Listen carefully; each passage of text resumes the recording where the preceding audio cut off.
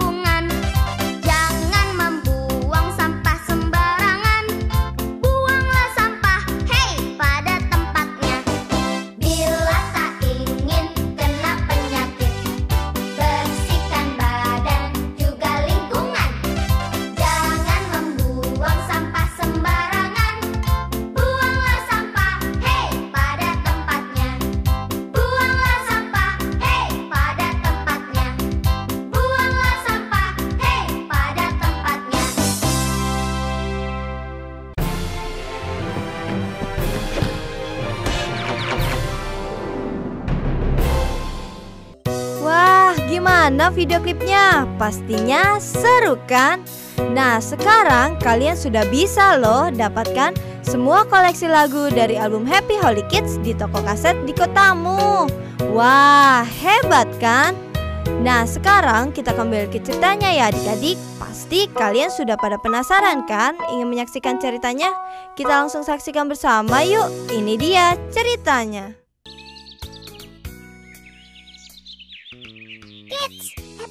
Tebakan nih. Kuning-kuning bisa terbang. Apa hayo? Kita tahu. Pasti kupu-kupu. Bisa juga layang-layang. Betul Wah, kan? Kids pinter juga ya. Sekarang kalau... Ah, gantian dong. Kids gantian punya tebakan nih. Kuning-kuning pinter masak. Apa ya? Apa ya? Hmm, apa ya? Sebentar.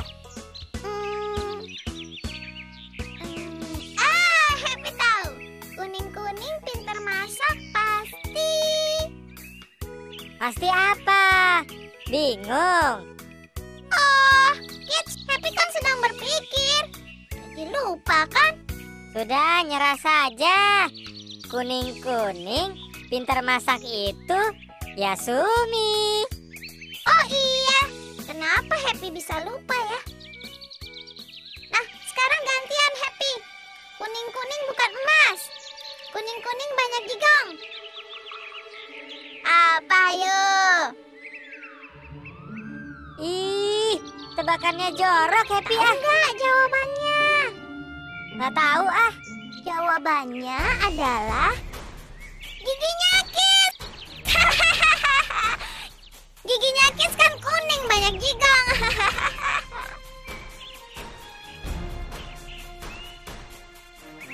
Loh, Kids. Eh, kok Happy ditinggalin? Ya, marah deh dia. Tapi kan cuma bercanda. Masa Kids marah sih? Oh, payah. Nggak asyik. Tapi kan memang giginya Kids kuning. Dan banyak gigong. Ya sudah deh, Happy pulang sendiri aja.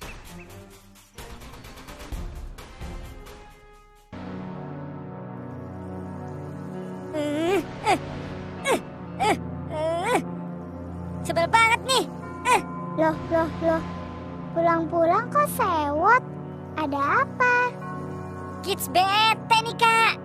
Masa Happy tadi menyindir giginya Kids kuning dan banyak jigong. Coba lihat.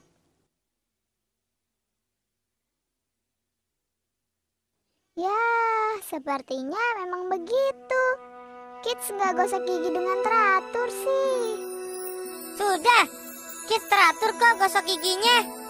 Sehari dua kali atau setiap kali habis makan? Bukan, tapi dua hari sekali. Yeay, pantas saja giginya kuning. Happy nggak salah dong. Kids sih yang jorok. Sana gosok gigi.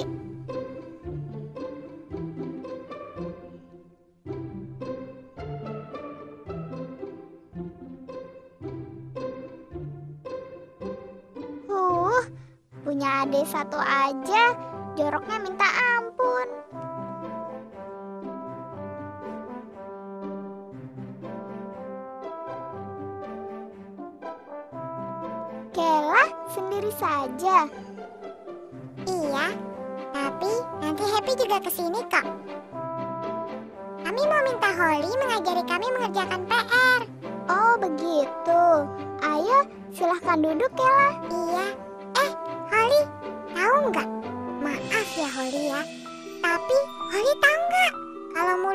Bau dan giginya juga kuning. Banyak gigongnya. Sudah. Tuh, Holly sedang suruh kids gosok gigi. Kids malas gosok gigi ya? Ya gitu deh.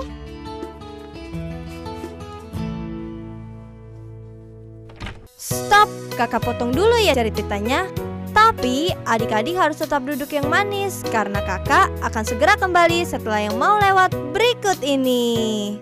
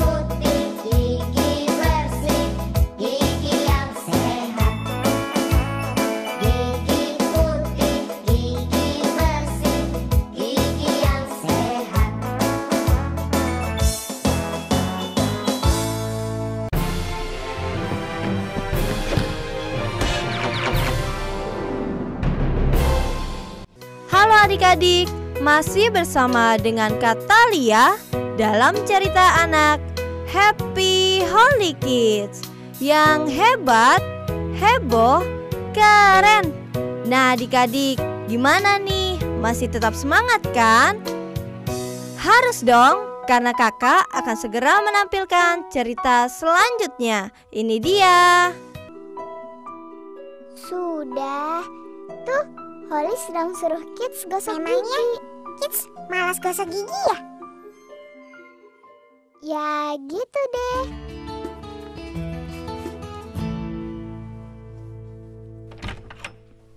Halo Holly.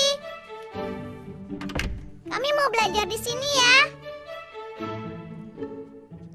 Tentu boleh dong. Ayo masuk. Sebentar ya. Nih, Kela dan Happy sudah datang.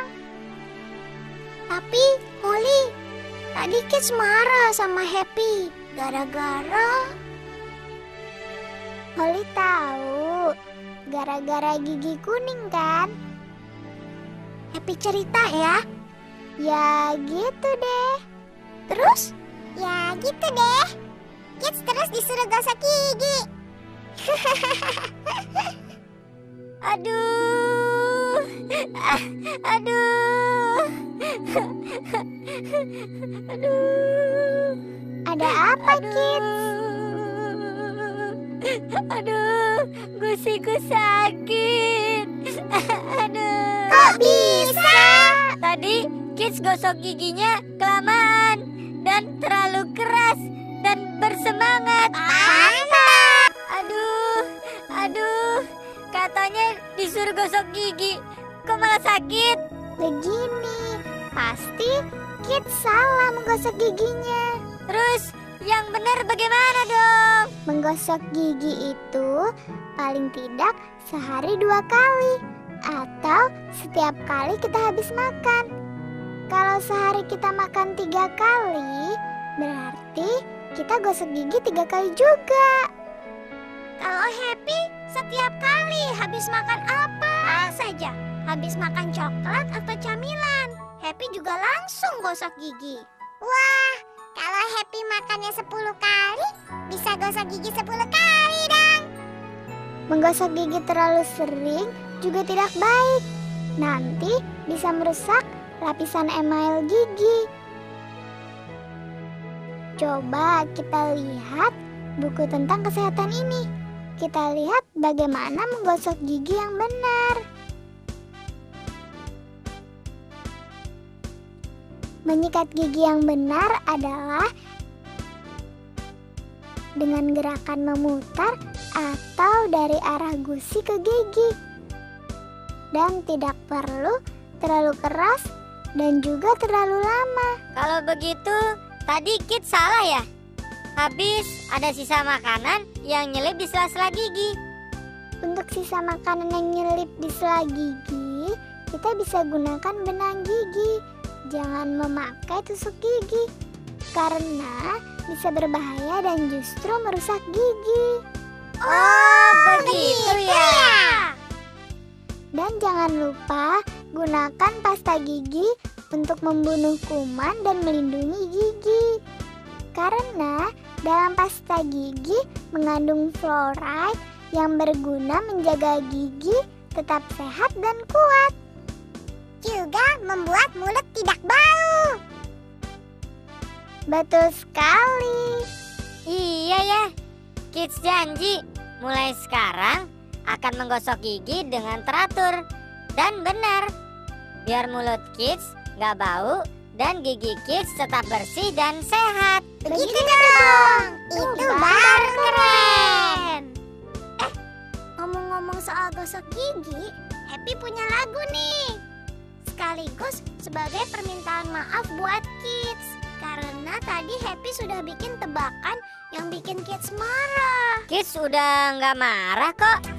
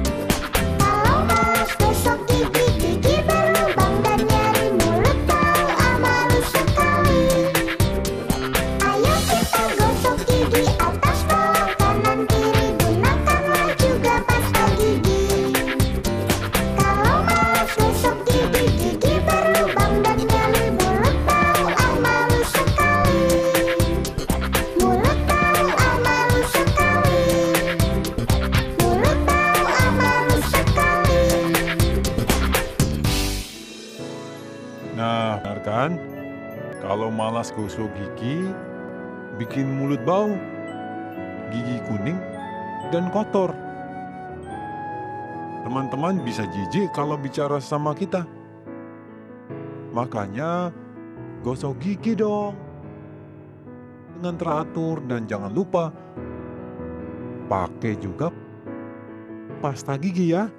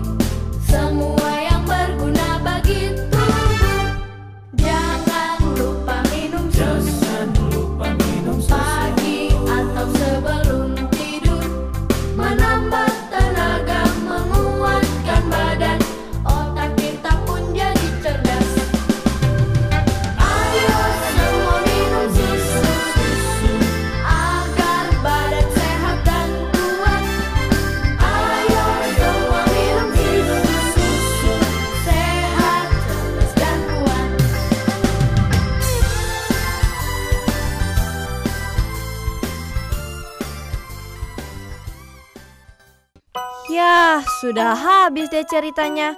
Tapi adik-adik harus tetap menyaksikan Happy Holy Kids ya. Karena di Happy Holy Kids, selain kita bisa belajar, kita juga bisa bermain loh. Seru kan? Nah, satu lagi nih, pesan untuk anak-anak Indonesia, jangan lupa rajin belajar, taat kepada mama dan papa, serta jangan lupa berdoa. Kita ketemu lagi ya di episode selanjutnya. Salam hebat, heboh, keren. Dadah.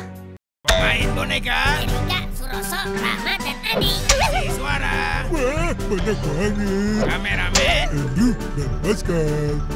lighting, Andrew, Pascal, Thomas, dan Suroso. arah kamera, Thomas, dekorasi,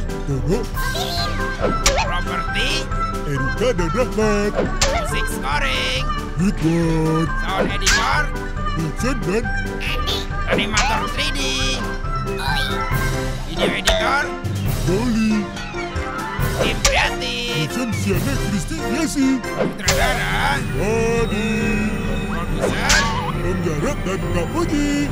eksekutif produser, Om Tanu dan Om Jarot. Akan Production.